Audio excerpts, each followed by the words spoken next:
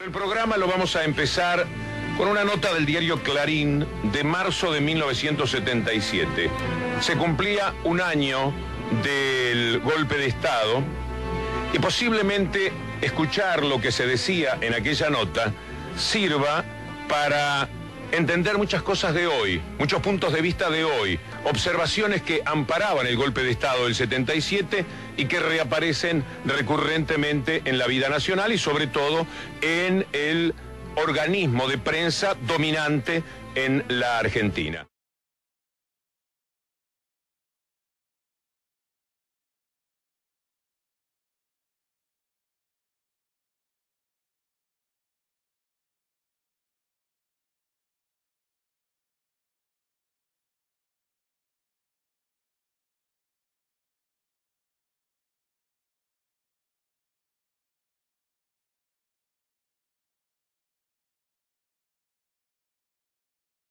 La firma en la editorial es de Ernestina Herrera de Noble, directora Er- Ernestina Herrera de Noble, y va el título con el compromiso nacional 24 de marzo de 1976. El 24 de marzo de 1976 el país se encontraba en uno de los momentos más graves de su historia, próximo a la desintegración como siglo y medio atrás, cuando la nación se disolvía en república, varias con pujos de independencia. El poder del Estado carecía de efectividad puesto que no monopolizaba la fuerza contra la subversión en auge y la ejercitaba a bruscos ramalazos. Estaba también la falta de racionalidad y de moral cohesiva. Los mecanismos institucionales no tenían la menor posibilidad cierta de volver a la normalidad.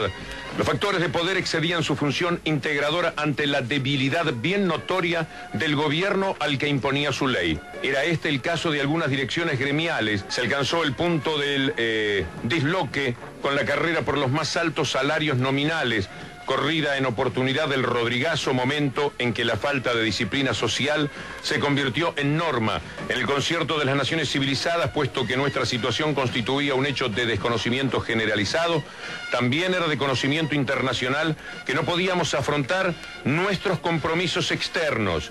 Vivíamos al borde de la cesación de pagos. Bastó que las Fuerzas Armadas tomaran el poder, asumiéndose como responsables últimos de la sobrevivencia del Estado-Nación, para que retrocedieran los factores de desintegración. Se impuso el orden, se restableció la confianza en el ámbito interno y en el ámbito internacional. El día siguiente era el de la gran tarea, porque la comunidad toda tiene conciencia de que para superar el atraso estructural, la formalidad democrática encuentra dificultades mayores. Pero como ha dicho el presidente Videla, con claridad y cierto apremio indicativo, los gobiernos de las Fuerzas Armadas que no efectuaron en tiempo y forma una clara propuesta al país terminaron condicionados por la alternativa surgida desde grupos opositores y debieron entregar el poder a sus adversarios. Hoy 24 de marzo de 1977, la subversión armada está derrotada y dispersa, el triunfo del orden no pudo ser más amplio. El Estado Nacional, francamente, ha monopolizado, y esa es la voluntad del gobierno de las Fuerzas Armadas. Un compromiso que no cesa, porque con las Fuerzas Armadas lo ha asumido toda la nación. Un editorial, insisto, del diario Clarín del 24 de marzo de 1977, un año después de asumir el gobierno militar el 24 de marzo de 1976. Un año después, y ya había muchos cadáveres en el país, Los invito hacer frente al desafío. Ok, va con testigo. Le dice a la jueza, mire, me dejaron esta bebé en la caja, Sí. quiero adoptarla. La jueza le dice, bueno, firme acá. Sí. Y en el medio de esto aparece otro bebé. Aparece otro bebé. En ese momento, en el juzgado. Sí, qué casualidad. Hacía muy poco tiempo habían Ajá. dejado a un chico, Carmen Luisa Delta, era la persona que no había podido criar a ese otro chico. Esto declara Ernestina. Exactamente, eso es lo que declara. Después, cuando la investigación avanza... Perdón, y la jueza también le dice quédese con este también. Sí, Hacemos a los un, dos los hacemos un combo. Exactamente. Después, cuando el tiempo pasa, se sabe que Carmen Luisa Delta, se busca el DNI de Carmen Luisa Delta y coincidía con el DNI de un hombre. Uno de los datos que, cuando se empieza a O sea indagar, que o la madre del falsos. bebé era travesti o no existía. Exactamente. Investiguen. Otro de los datos importantes que se fue desmintiendo con la, con la investigación era el caso de eh, Marcela Herrera Noble, que estaban planteando que Marcela había aparecido en una caja y que el testigo era Roberto García, el jardinero de una vecina, que se llamaba Yolanda Echagüe de Aragón. Roberto García después declara a los 85 años, en el año 2002, cuando Ernestina Herrera de Noble es detenida por Markevich, Roberto García dice, yo, vi, yo firmé unos papeles que me trajeron los abogados de Clarín, pero yo no soy el jardinero de la vecina Yolanda Echagüe de Aragón, yo soy el chofer de Ernestina Herrera de Noble desde hace 38 años, de la familia. Sí, ya lo era cuando firmó. Exactamente. Investiguen, sean honestos consigo mismos. Somos Marcela y Felipe Noble Herrera. Nuestra madre es la directora de Clarín, pero para nosotros siempre fue, es y será nuestra mamá. Sentimos que nuestra identidad está siendo manoseada por intereses ajenos a nosotros.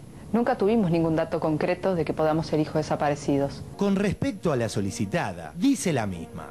Nunca tuvimos ningún indicio concreto de que podamos ser hijos de desaparecidos.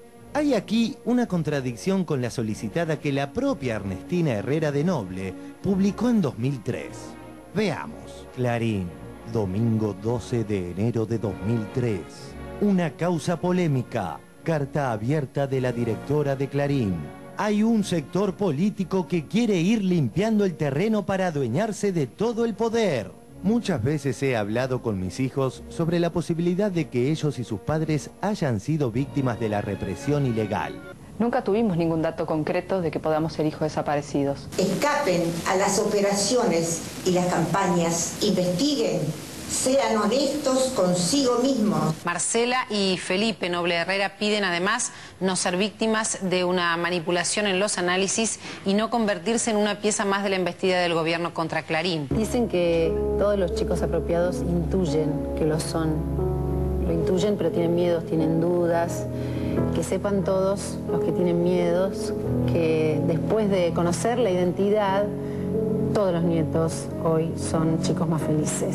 Sean honestos consigo mismos. Y no convertirse en una pieza más de la embestida del gobierno contra Clarín. Si uno ve el recorrido, no es de este gobierno, no es en el periodo de este gobierno que emerge este tema, sino que ya lleva más de ocho años, y ocho años a partir de dilaciones realizadas por la propia familia Noble. Dice esto, eh, Ernestina Herrera de Noble en el 2003. Mi prisión forma parte de un plan que comenzó varios meses atrás y que tiene previstas muchas acciones más. Hay un sector político que quiere ir limpiando el terreno para adueñarse de todo el poder. Su primer paso es destruir a los medios independientes y de esa manera hacer desandar todo el camino de libertad que el periodismo y la gente construyó desde el retorno de la democracia. Es decir, todavía el kirchnerismo no existía. Kirchner iba a asumir tres meses después de que Ernestina Herrera de Noble escribe esto, con lo cual para esta causa siempre hubiese habido, hubo y habrá embestido oficial. Nos terminó de convencer un mensaje de la Presidenta de la Nación que por cadena nacional, sin nombrarnos, aludió permanentemente a nosotros. Desde ese momento nos sentimos con miedo, angustiados, inseguros, perseguidos. Es un manejar este, digamos, muy sutilmente o no, muy directamente también, una cuestión mm, política de confrontación entre gobierno y un medio, con dos víctimas en el medio, lo cual, bueno, conmociona a la, a la sociedad y dice, bueno, señores, basta, pobres chicos, cuando en realidad los que están victimizando son ellos, los abogados y la señora de Noble. Somos personas de carne y hueso. Trabajamos, estudiamos, amamos, sufrimos y hoy nos sentimos perseguidos. Solo queremos que nos... Hace 34 años, mamá nos eligió a nosotros y nosotros a ella. No queremos que nos usen para atacarla. Nada ni nadie podrá destruir esta familia. Advierten que temen ser una presa más de la embestida contra Clarín. Si la embestida contra Clarín es tal, lo que tienen que hacer es justamente hacerse el ADN y que quede claro, porque nada sería más sintomático y más favorable a Clarín, si tienen esa convicción, que el hecho de que no sean hijos de desaparecidos y que la historia que contó Herrera de Noble sea verdad. Si saben que esa historia es verdad, que es la que han contado, ¿para qué dejar que envistan contra Clarín supuestamente en nombre de esta causa? Tienen que terminar. El tema es que los chicos, una vez que sepan quiénes son, pueden decidir lo que quieran de su vida, por cierto. La que no se sabe si puede decidir lo que quiera de su vida, de acuerdo al delito que se le imputa, es la señora Herrera de Noble. Cuando Markevich decreta la prisión preventiva, Lo hizo en nombre de una causa que tenía como mínimo cinco años y era un solo hijo, diez años y eran dos hijos, de mínima de cárcel. Es de esto que se están defendiendo, evidentemente. Dispuestos a mentir sobre papel. Dispuestos a fingir frente a la cámara 3. Total lo que digamos está bien. O al menos desde arriba ya me dieron el ok, ok.